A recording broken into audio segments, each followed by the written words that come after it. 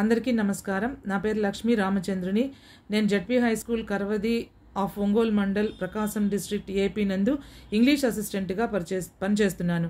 NISHTHA three point O FLN courses and NISHTHA two point O courses గురించి నాకు తెలిసిన విషయాలు మీతో షేర్ చేసుకుంటా. ముందుగా నిస్టా అంటే national initiative for school heads and teachers holistic advancement.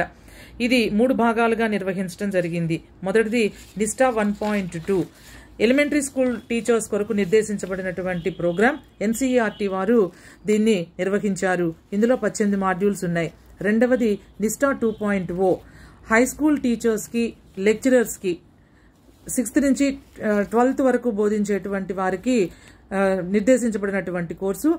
ఇందులో పన్నెండు సబ్జెక్ట్ ఏరియాస్లో కోర్సులు నిర్వహించారు. ఆగస్టు ఫస్ట్ ఇరవై ఇరవై ఒకటి నుండి ఇరవై ఎనిమిది ఫిబ్రవరి ఇరవై ఇరవై రెండు వరకు ఈ కోర్సు నిర్వహించడం జరిగింది. మూడవది నిస్టా త్రీ పాయింట్ ఓ.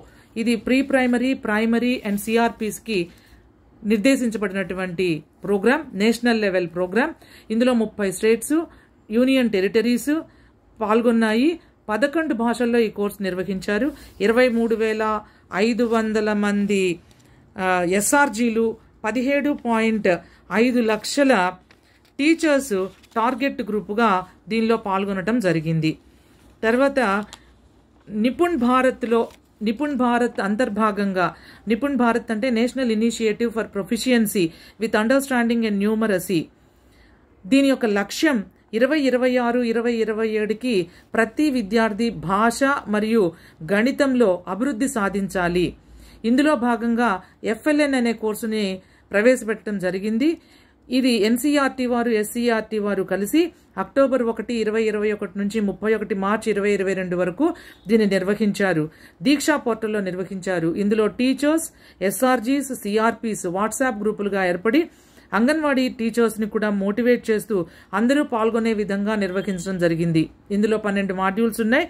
టీచర్లకి ఈ మాడ్యూల్స్ చేసేటప్పుడు ఏదైనా సందేహాలు వస్తే వాటిని నివృత్తి చేయడానికి ఎస్సీఆర్టీ వారు లైవ్ వెబినార్స్ నిర్వహించి సబ్జెక్ట్ ఎక్స్పర్ట్స్ చేత వాళ్ళ సందేహాలను నివృత్తి చేయడం జరిగింది.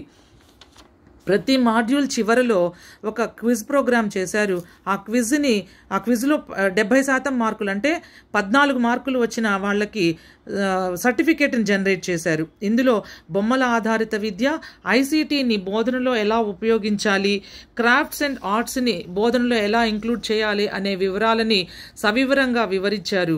అందరికీ ఉపయోగపడే విధంగా రూపొందించిన